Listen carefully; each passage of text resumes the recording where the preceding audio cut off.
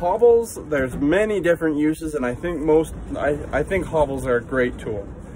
So if you're in the mountains, people who pack horses up in the mountains, hobbles is a must. It keeps your horses from wandering too far, from getting lost, and they can get around just fine out and grazing on those mountain meadows wearing a set of hobbles. Also, if a horse learns to stand well with hobbles on, then when you get if they get their foot caught in wire, it's not a big deal because they understand when their foot's caught to hold still. And then also, I think they're a very useful patience tool for those horses that paw all the time. It just helps them think about holding still. And so this colt right here, this is a three-year-old colt that I have him for training right now. He's a real nice-minded colt.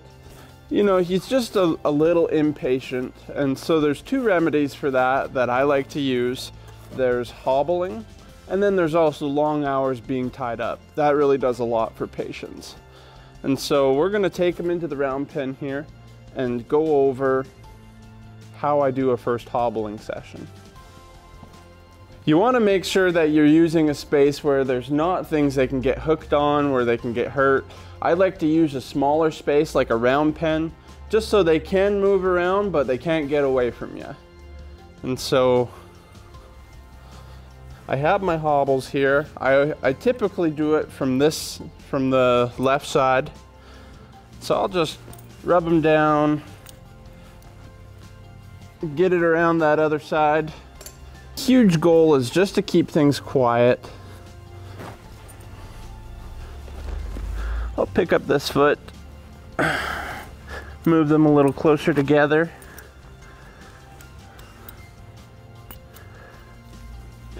Just get it clipped up. Now I, I just stand back out of the way. He's gonna figure it out pretty quick here. So I'll let him take his first step and just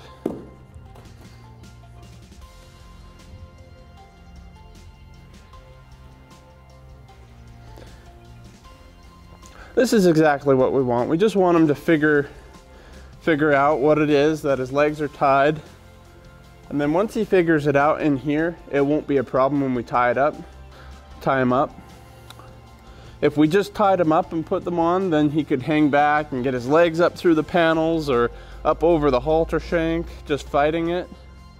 And we don't want that. And so that's why I always come into a nice enclosed or open, I guess, a nice open space where they can move around if they do fight it. But he's handling it like a champ. He's almost handling this too good. And so I'm gonna bring a second horse in here just to show you another perspective, a more sensitive horse. And the fact that they fight hobbles the first time does not make them a bad horse. It just, every horse is different. So this is another mare I have in for training right now. She's a Arab mare. She's more of a hot-blooded, a little bit busy, but she's still a really nice horse. I'm gonna show you what a more sensitive type horse will do when you put hobbles on for the first time. So same thing, just focus on really keeping it quiet. She's gonna wanna dance around a little. I'm just gonna rub these hobbles around, get her nice and comfortable with them. Try and hold her still. Ooh, man.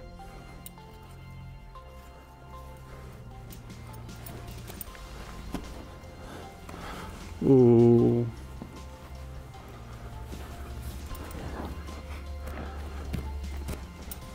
You can see that she definitely needs them.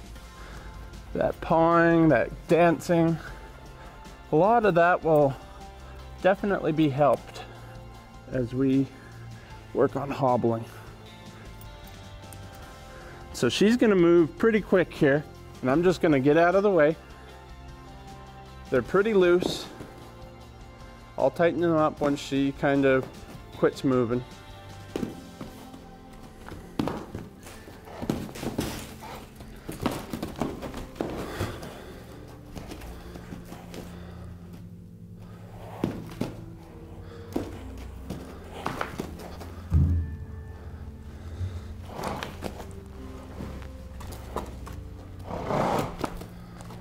I'll just keep hold of this halter shank. So she's had them on for a few minutes and she's already starting to calm down. So I would feel comfortable tying her up pretty quick here with them. Just as long as she's not fighting, and this will really help with this busyness. Well, I hope that helps you with your hobbling adventures with your horse and gives you, I guess, a reason where you might use it. It's just a regular colt thing to be busy. And so don't be worried if your horse is impatient. It just takes time and, and practice.